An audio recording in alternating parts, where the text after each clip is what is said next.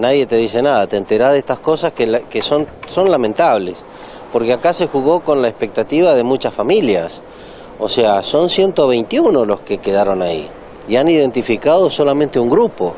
Entonces, el resto de las familias tienen la expectativa de saber dónde están los restos de sus caídos. O sea, si ustedes recuerdan, hace tiempo atrás eh, se hablaba de NN. Nunca fueron NN los que estuvieron ahí porque nosotros sabíamos quiénes es los que habían caído, los 121 que habían caído en Malvinas.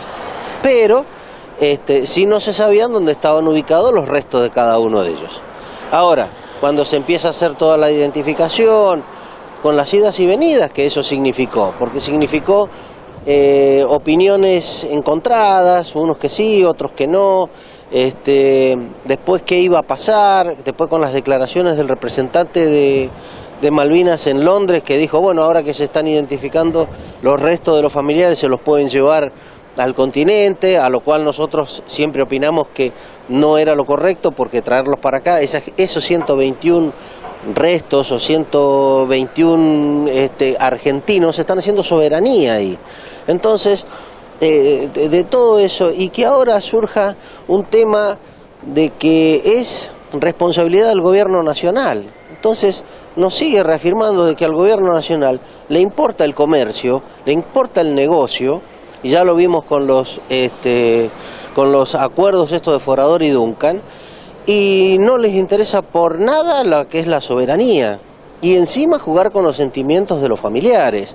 Entonces, eh, realmente eh, no, no es para cerrar bien el año, no es para cerrar bien el año. Te queda ese sabor amargo de decir, pucha, eh, ¿cuántos familiares quedaron ahora sin saber dónde están los restos de, de su hijo? Normalmente son todos hijos o hermanos, así que pero realmente no, no, entre, entre los veteranos no, eso no ha caído nada, nada bien. Yo ya me he comunicado eh, con este, los presidentes de los centros del resto del país, porque tenemos una, una red social que, donde estamos todos los presidentes de los centros, que estamos nucleados dentro de la Confederación, que sumamos el 90% de los veteranos del país. Entonces ya ellos están elaborando un documento en la Confederación que desde luego nosotros vamos a apoyar desde acá, por siempre. Así como si ustedes eh, sabrán que ayer se dio a conocer un proyecto de ley, ¿sí? Eh, una herramienta que nunca existió.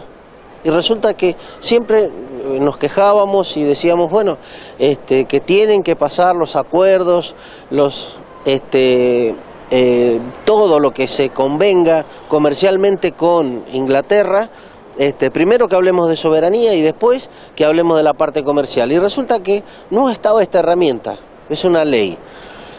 Eh, ya estamos trabajando nosotros y a través de la Confederación para que eso tenga el apoyo de todos los, o sea, se necesita el apoyo de los senadores y los de diputados. O sea, esto es una cuestión de Estado, esto no es por color político, como se explicó.